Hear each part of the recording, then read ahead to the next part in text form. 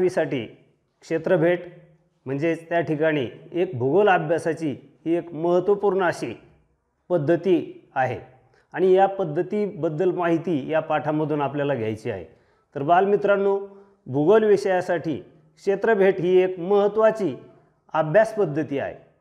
म्हणजे जशा प्रत्येक विषयाच्या अभ्यासाच्या वेगवेगळ्या पद्धती असतात तशीच भूगोल विषयाचा अभ्यास करण्यासाठी ही क्षेत्रभेट ही एक पद्धत महत्त्वपूर्ण अशी आहे. क्षेत्रभेटीच्या दरम्यान आपल्याला त्या ठिकाणी जे काही भौगोलिक घटक आहेत व त्या ठिकाणी मानवाची आणि त्या भौगोलिक घटकांची प्रक्रिया कशा प्रकारे होते म्हणजेच भौगोलिक घटक व प्रक्रियांचा प्रत्यक्ष अनुभव आपल्याला जागेवरून जाऊन करता येतो अशी ही पद्धत आहे प्रत्यक्ष अनुभवाची पद्धत.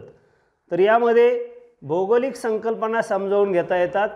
क्षेत्रभेटीमुळे म्हणजेच ज्या ठिकाणी आपण जाऊन भेट देणार आहोत मग एखादं कार्यालय असेल किंवा एखादा कारखाना असेल त्या ठिकाणची जी काही माहिती आहे जी काही संकल्पना आहे ती समजून घेण्यासाठी ही पद्धत त्या ठिकाणी उपयुक्त ठरते. तसेच मानव आणि त्याचे पर्यावरण म्हणजे मानवाच्या भोवती असलेलं त्याचं जे पर्यावरण असतं या दोहोमधील संबंध म्हणजे मानव आणि त्या पर्यावरणातला सहसंबंध कसा आहे हे जाणून घेण्यासाठी ही पद्धत आपल्याला उपयुक्त ठरते.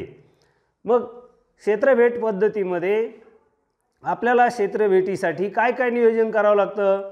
तर त्या ठिकाणी आपल्याला क्षेत्रभेट ज्या ठिकाणी द्यायचे ते ठिकाण अगोदर निश्चित करावं लागतं.